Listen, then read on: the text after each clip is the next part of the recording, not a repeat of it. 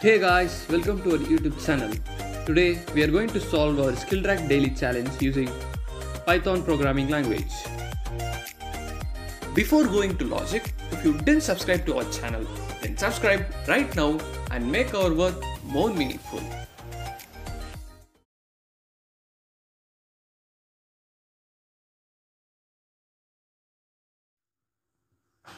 First, we'll understand our question. The program must accept the space separator string yes and then it must replace all the space in yes with asterisk.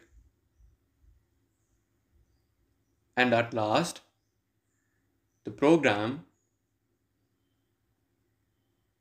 must print the string based on the sorry print the string in a pattern. So first we have to get the space separated string as our input. Then it must replace all the spaces in the string yes with asterisk.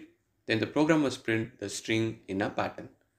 So the program must create a matrix with column equal to equal to n. So here i have missed one thing. That is the program must accept an input uh, integer n. Then the pro then after creating the matrix with column equal to equal to n it must replace the characters of the matrix based on some conditions. So let us take our first test case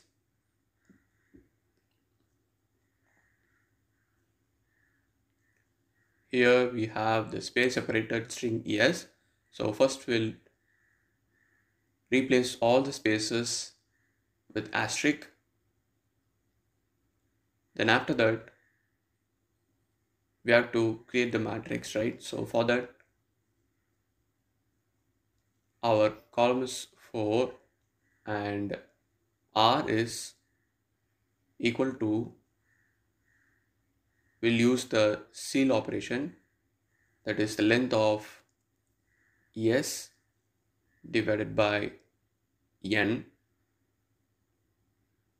That is the length is 1 2 3 4 5 6 7 8 9 10 11 then 11 divided by 4 is 12 then we have got the rows and columns. So here it is 3 because uh, 11 divided by 4 is 3 then so the rows is 3 and the column is 4 so this will be the matrix in which we are going to replace the character of the matrix from the last position that is first we'll take these rows and after this we'll have the other rows. Then we'll start from here. So first we have a then l l. After that we have the asterisk. Then after completing the last row we have i yes and then asterisk then w then after that we have ell so we'll replace them. So after completing we don't have any characters left. So we'll replace that zero with ash. So this will be our output Now let us take our second test case.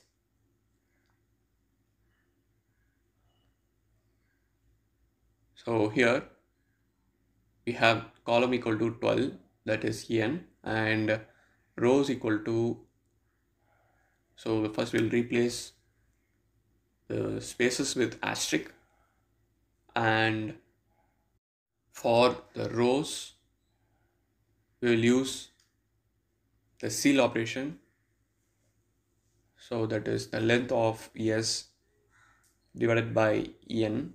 So here the length of the string is 1 2 3 4 5 6 7 8 9 10 11 12 13 14 15 16 17 18 19 20 21 22 23 24 25 26 27 28 29 so here we have the length to be 29 so the ceil of 29 divided by 12 is 3 then the rows and columns would be 3 comma 12 so this will be the matrix in which we are going to replace the characters from the last position.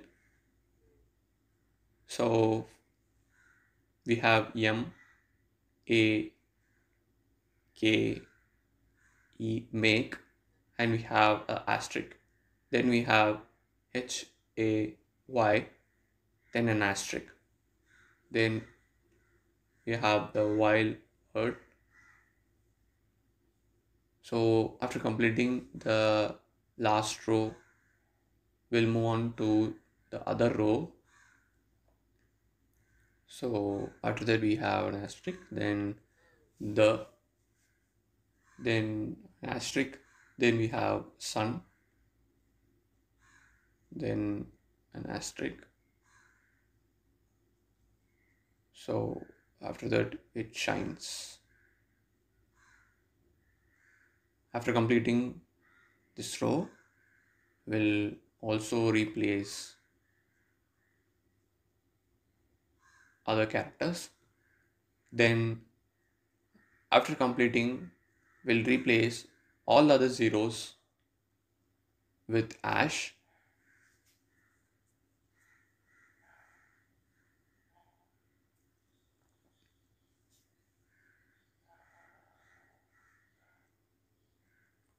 Oh yes we have replaced with ash.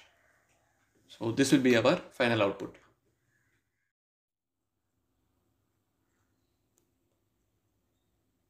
now let us implement our program first we'll get the space separated string yes then we'll get the number of columns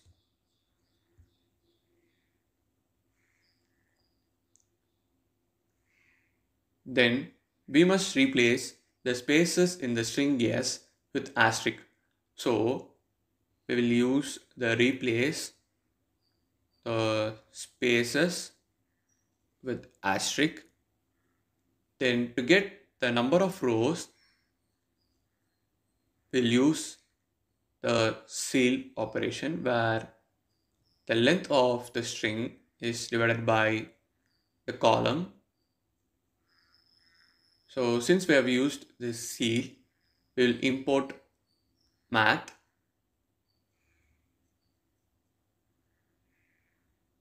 Then now we will have the matrix with the elements as 0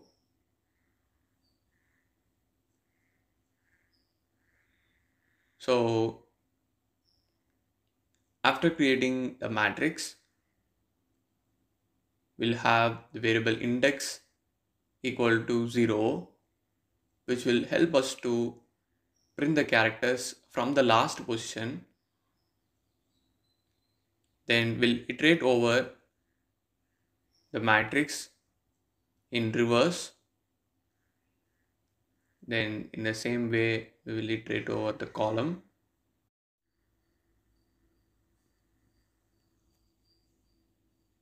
Now we'll check for if the index is less than the length of string that is if the character is present and that is uh, less than length of the string. We must replace the get character in the matrix.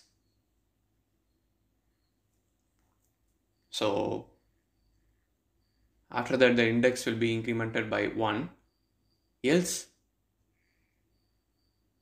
if the index of the matrix is greater than length of the string then we must have hash. Then for row in matrix we must print asterisk row so let us execute our program first we'll run with our first test case so we have got the correct output as we discussed. Then we'll run our second test case. So here also we have got the correct output. Our program has passed all our given test cases successfully.